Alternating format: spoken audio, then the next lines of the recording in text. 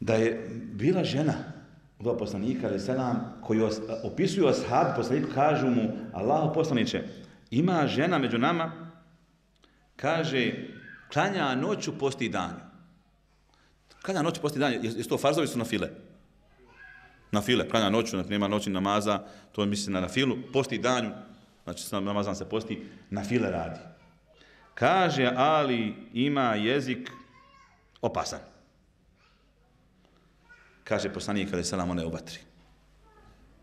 Pazi, prava ljudi na neuznemiravanje je veći od tih tvojih nafila koje ti radiš. Naprijed sada da insan odvrne Kur'an.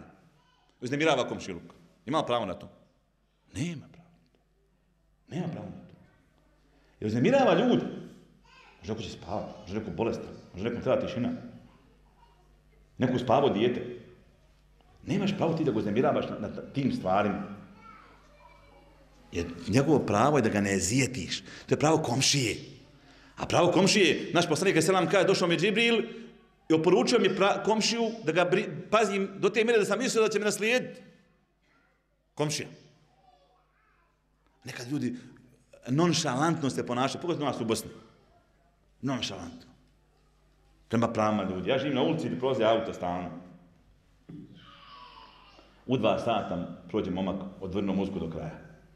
I prođe ispred 15 grada. Nek u svakoj zgradi ima jedan dedo stari, ili nijena koji su jedva zaspali po tabletama i ti ga probudiš. Znaš koji to je zijet? Tebe pogodila pjesma u dva ujutru. I ti ideš i zamiravaš čitav jedan, jedno naselje. A nemar. I ne osjeća da griješi. I ne osjeća da, ako je vjernik, koliko to kajem pogrešno.